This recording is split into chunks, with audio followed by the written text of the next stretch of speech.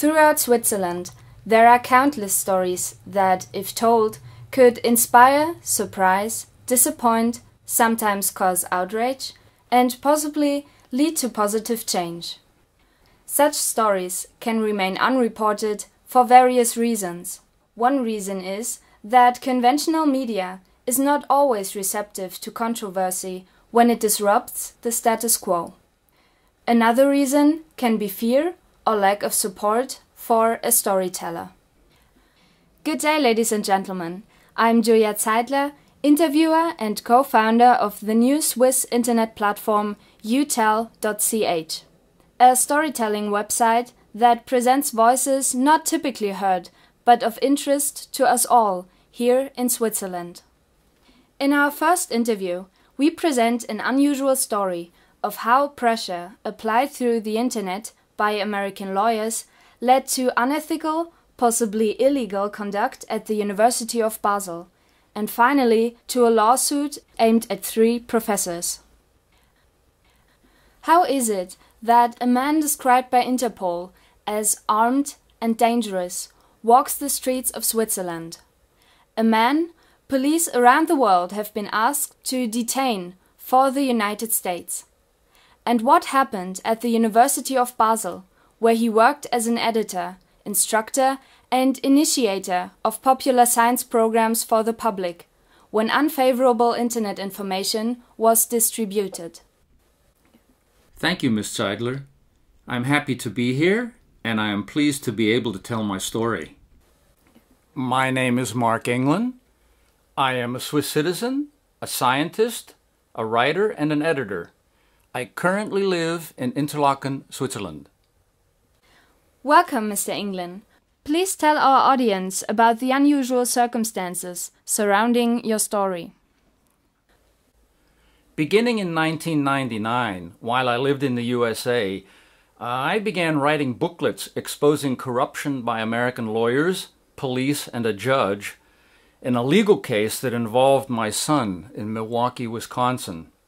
The publications led to retaliation against me by those lawyers. Under continual legal pressure, I ultimately returned to Switzerland in 2004 after living most of my life in the USA. I won't burden listeners with a long history of American injustice, but I should provide some background information to explain the circumstances in Switzerland today and to address your opening remarks. In 2009, Interpol issued a notice about me based on a request by U.S. Marshals in Milwaukee. Uh, they were acting on behalf of a police chief and a judge whom I was exposing in a new book called The System that went onto the internet.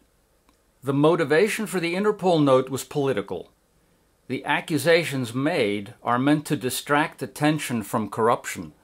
The Interpol notice is ignored by Swiss authorities because it has no relevance here and it is probably seen for its uh, clear intent uh, obfuscation. What evidence can you provide to support your claim that the Interpol warning is politically motivated? People who watch a video by Fox News on the internet see a very different story. Well, the timing of the notice and my location uh, demonstrate this.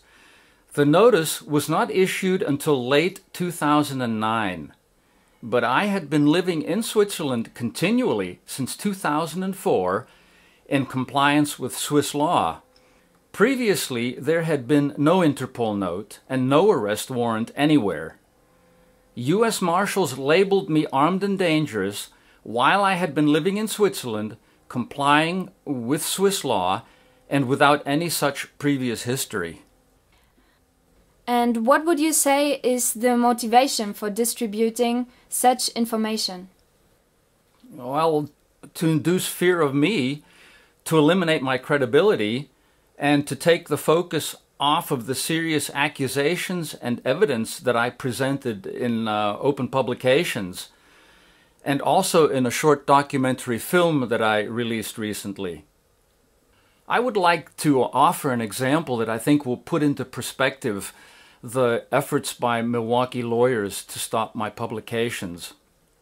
A newspaper article in the Milwaukee Journal Sentinel newspaper reported that an American lawyer, Robert Elliott, asked a judge, Michael Malmstadt, in a Milwaukee courtroom to impose penalties of $400 million on me. Now, I repeat, 400 million US dollars as punishment for writing booklets critical of a Milwaukee lawyer. This sum was meant to induce Swiss lawyers to put an end to my publications.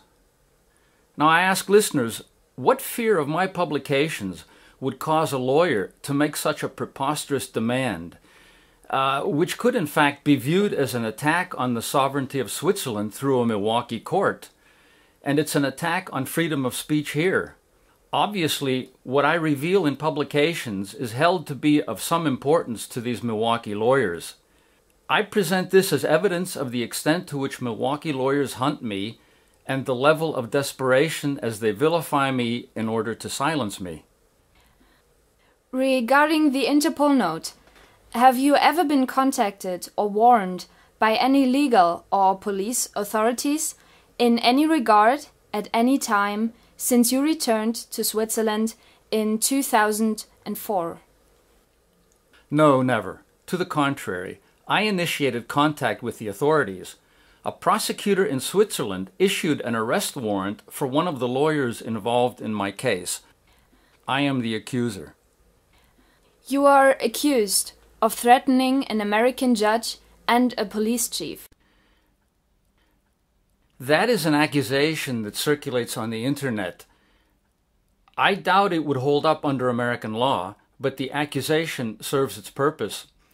What I did was in compliance with Swiss law. I have been exposing the same people in publications for 13 years. They are lawyers who specialize in protecting drug dealers and a judge known for protecting police in trouble. They are insiders to the legal system.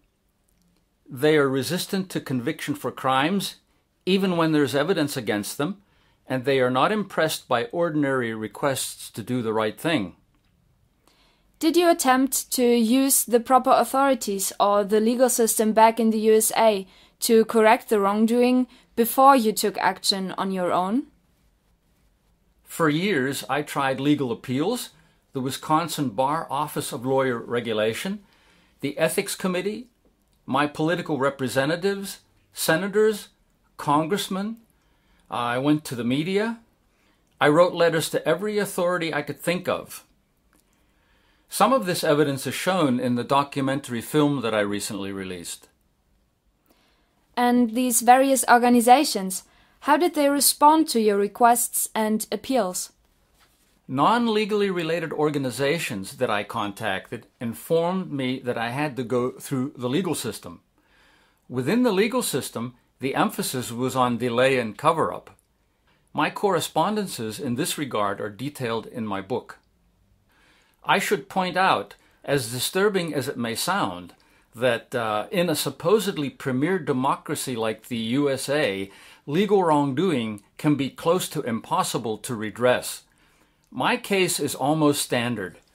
Lawyers in the legal system have become notorious for never making a mistake and for applying pressure to ensure that mistakes are not revealed.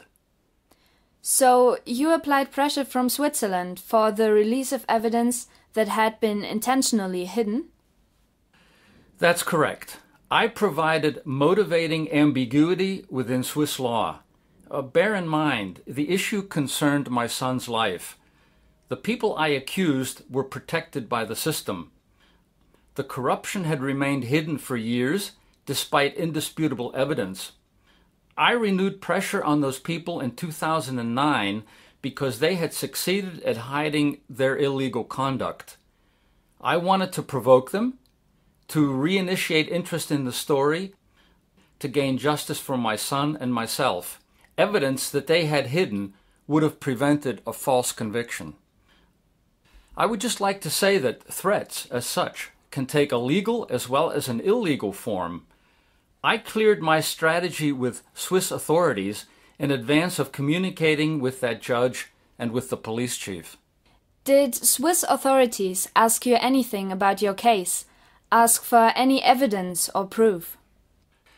In fact, Swiss authorities were apprised of my circumstances even before the matter began in 1996 because my son is a Swiss citizen.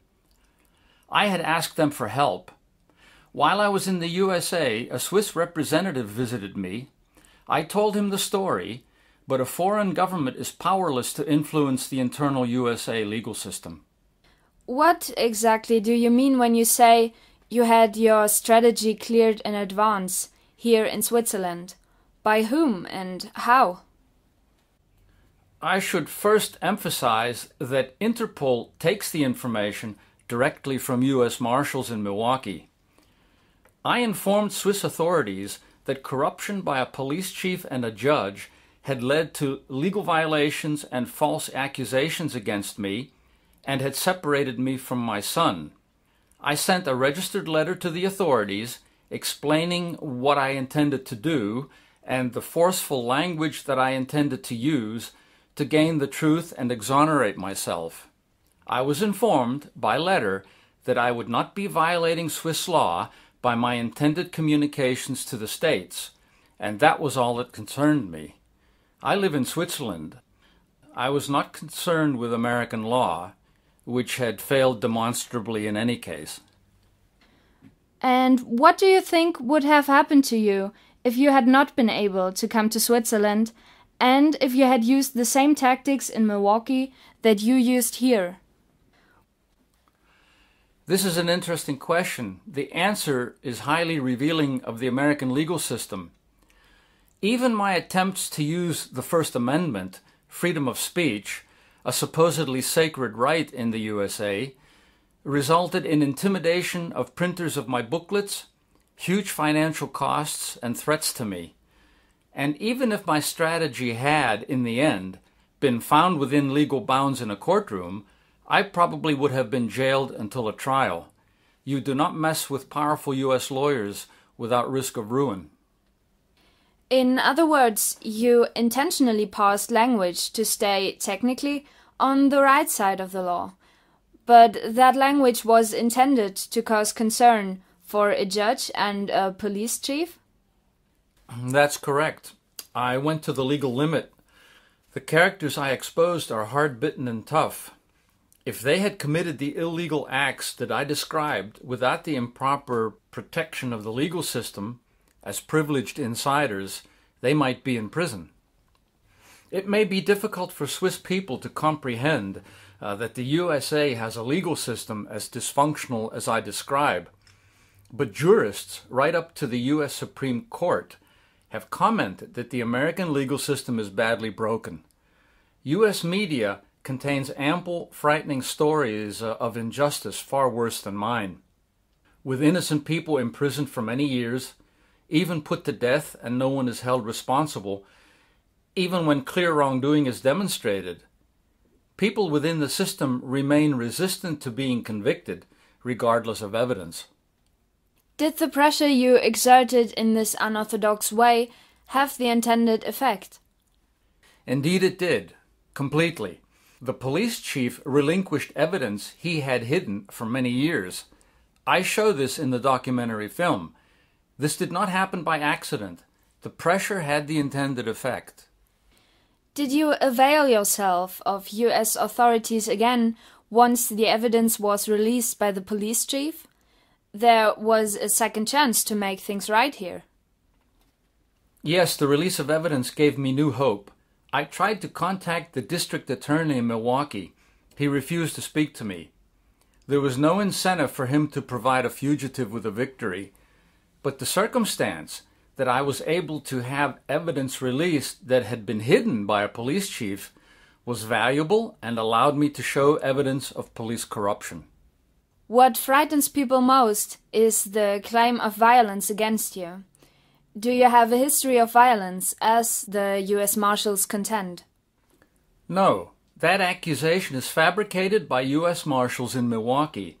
Before I angered Milwaukee lawyers over the corrupt handling of a trial, and before I began publishing about that and its impact on my son, I had no criminal record whatsoever anywhere. Is what you are telling us verifiable? Easily. Criminal records are public records in USA. My Swiss record is also spotless and was provided more than once.